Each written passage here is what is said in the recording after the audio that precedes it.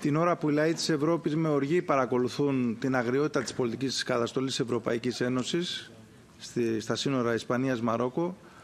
όσες διαβεβαιώσεις και αν δώσετε και η Κομισιόν και η κυβέρνηση της Νέας Δημοκρατίας και ο κ. Μηταράκης που είναι εδώ σήμερα, η πραγματικότητα στο Αιγαίο παραμένει και εκεί αμήλικτη. Δηλαδή ναυάγια, νεκροί, αγνοούμενοι, γέννε εγγύων γυναικών σε ακατοίκητα νησιά, επαναπροωθήσεις και από τη μια όχθη της Τουρκίας δουλέμποροι και κυκλώματα εργαλειοποίησης του μεταναστευτικού και με στόχευση τα κυριαρχικά δικαιώματα της Ελλάδας και από την άλλη όχθη επαναπροωθήσεις, Frontex, καταστολή, υπερδομές φυλακές που κατασκευάζονται μαζικά στα ελληνικά νησιά, στη Λέσβο και στο νησί σας, στη Χίο.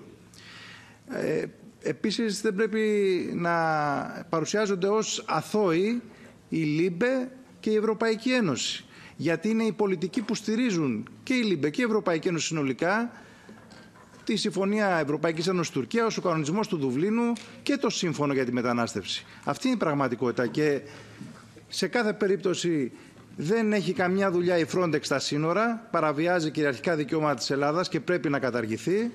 Πρέπει να σταματήσει το έσχος των επαναπροωθήσεων της κυβέρνησης και της Frontex και ενάντια στο νέο σύμφωνο είναι ανάγκη να πάνε οι πρόσφυγες στις χώρες τελικού προορισμού τους με ουσιαστική στήριξη, υποδοχής σε ανθρώπινες συνθήκες, με διασφάλιση των δικαιωμάτων σε άσυλο, υγεία, παιδεία και εργασία με δικαιώματα. Όχι τις απαράδεκτες συμφωνίες που έχει κάνει η κυβέρνηση με το Πακιστάν και τον Μπαγκλαντές και επικρατούν συνθήκες γκέτο όπως αυτές οι απαράδεκτες που υπάρχουν στη Μανολάδα και αλλού